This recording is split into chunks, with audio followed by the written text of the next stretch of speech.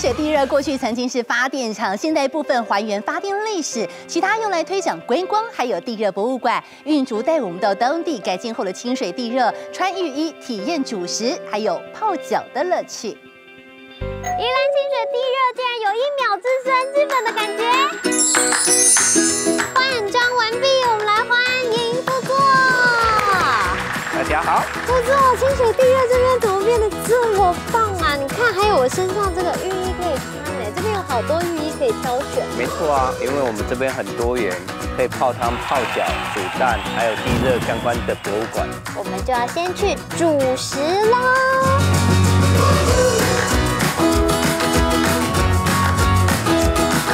我小的时候来的时候，只能煮少少的几样食材，可是这边呢，居然现在有那有什么牛三宝啊、虾子、鸡汤跟干贝耶。那再来是鸡蛋、玉米、小白笋，都是在地挑农的，所以我们原则上都是尽量提所以都是非常新鲜的。对，那民众可以自己带东西来煮吗？可以。那如果民众觉得麻烦的话，也可以在这边选购。同时，我们也提供免费的猪笼服务。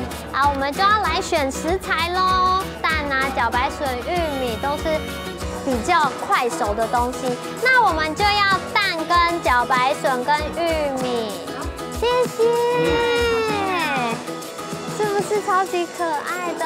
我们现在就要来用地热的水温来煮食材喽。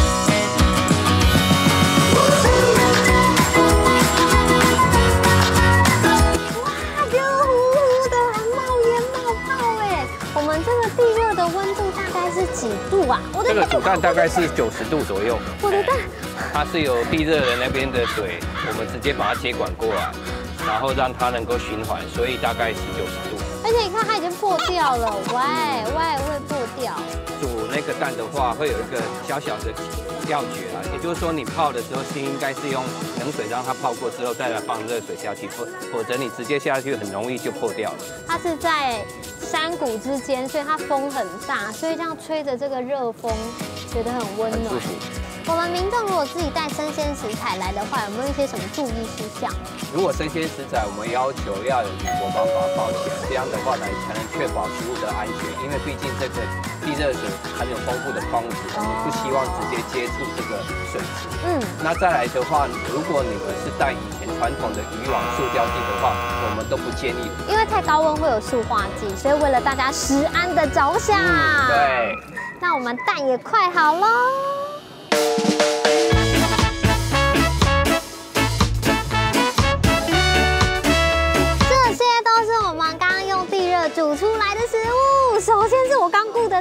它会是里面是溏心蛋的样子，对，不会太熟，不会连剥个蛋都这么寒斑吧？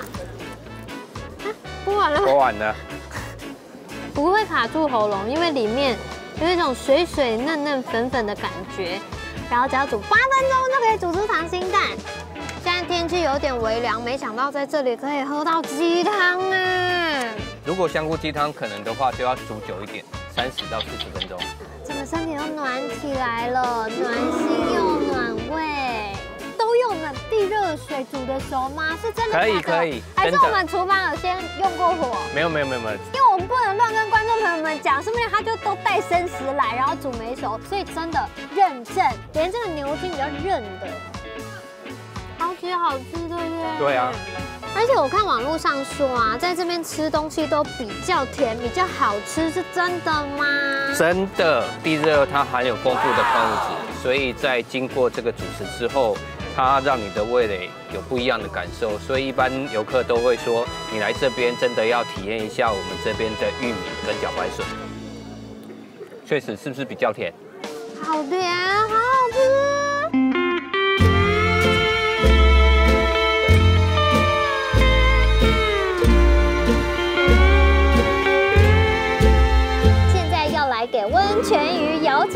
这感觉很奇怪哎，脚超级很痒哎，因为那鱼就啵啵啵啵会一直吃你的脚，对人的脚这么有兴趣。